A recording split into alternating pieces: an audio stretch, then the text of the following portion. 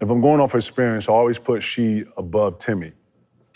And it was just because Sheed had a three ball and he was just as long as I was. You know what I'm saying? And it, it was super difficult to block. It was, you know, I had to just metaphorically, I had to I had to do different things with Sheed that I can do with other players or other fours that I couldn't do with him and Duncan. So that's what made it such a chess match. Um, Carmelo, he was he was super hard because he was just super strong. Um, I got to throw Chuck in there because Chuck was crafty. Big time. Off the new rules, I, I watched Chuck with the old rules of being able to dominate the ball for 14, 16 mm-hmm. seconds, and then, you know, mm-hmm.